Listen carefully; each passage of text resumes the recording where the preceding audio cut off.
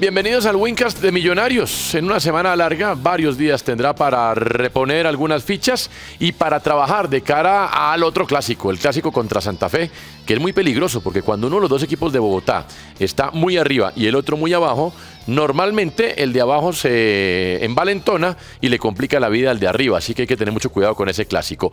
Después de lo que pasó con Atlético Nacional, ¿qué, pasó con Nacional? Que Millonarios, hombre, eh, jugó a lo líder, jugó a lo grande, miró a los ojos a Nacional, jugó como local y arrancó siendo más que Nacional, lo presionó, lo tuvo, aquella doble atajada de cuadrado, después una jugada por el costado derecho de Ovelar, eh, se le cerró mucho el ángulo, pero bueno, también la tuvo y algún tiro de media distancia. Se lesiona Juan David Pérez y hay una desconcentración mientras acomodaba las fichas y por ahí llega el gol en una gran jugada de Barcos y de la posterior definición de Vladimir Hernández. Y después Millonarios intentó con la de Millonarios seguir ahogando al rival, Nacional lo neutralizó, virtud de Nacional durante un buen tiempo y en el segundo tiempo al final termina encontrando la igualdad. Que si fue falta contra Duque, probablemente sí, fue falta de Duque, perdón, contra Mafla. Antes había habido una jugada donde quedaba solo Ovelar frente al arquero y estaba en posición clara, lícita, y lo invalidaron. Entonces, bueno, esto de las equivocaciones de los árbitros son para un lado y para otro. Pero creo que el empate resulta siendo justo al final por lo que se vio. Eh, de todas maneras, Millonarios, alguno dirá, sí, no ha ganado ninguno de los dos partidos contra los dos grandes que ha jugado. Tampoco los ha perdido y al Deportivo Cali lo tuvo en el bolsillo. Y bueno, contra Nacional, al final, si no se puede ganar, que no se pueda perder.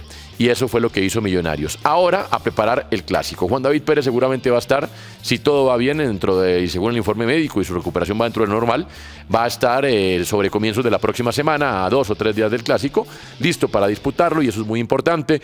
Duque va a poder hacer más trabajo junto al equipo eh, y Millonarios tendrá que buscar las variantes para cuando, por ejemplo, Elícer Quiñones, que está jugando bien al fútbol, pues ya no pueda más, como sucedió el sábado.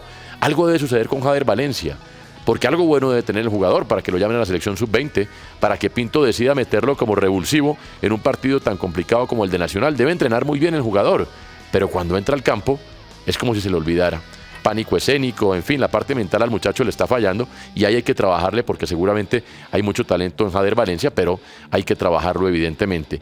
Y hay que trabajar también en, bueno, en que Marrugo pueda estar para 90 minutos, más allá de que ya lo hizo en alguna ocasión, eh, en por qué no tener variantes como que puedan jugar un día juntos Montoya con Marrugo, con McAllister para tener mayor circulación de pelota, eh, en fin, pero todo dentro de la comodidad de estar en la parte alta de la tabla y de tener un equipo que en su formación titular y sus variantes encuentra a la mayoría de jugadores en muy alto nivel. No va a estar Wilker Fariñez en el clásico contra Santa Fe porque va a estar cumpliendo con la selección de su país, con la selección de Venezuela. Ramiro Sánchez es un buen portero, seguramente pues por algo es el suplente de Wilker Fariñez, no será Wilker Fariñez, pero ofrece seguridad y esperamos que los defensas así lo entiendan. El que creo que se ganó un lugar en la titular es Rambal ya va a ser Rambal y Payares o Rambal y de los Santos, depende de cómo quiera cambiar los perfiles el técnico. Y eso es muy bueno porque es un jugador de la casa, porque muestra seguridad y porque había preocupación en el sector del campo con Millonarios, porque entre de los Santos y Payares, pues los dos son tiempistas, no son tan rápidos. Rambal ofrece rapidez y ofrece una madurez en el campo que es realmente increíble para un jugador que tiene cuatro o cinco partidos como profesional. Desde la comodidad de estar en la parte alta de la tabla, Millonarios prepara el siguiente clásico y busca sellar rápidamente su clasificación a los playoffs. Nos veremos la próxima semana, previo al clásico, con otro Wincast de Millonarios.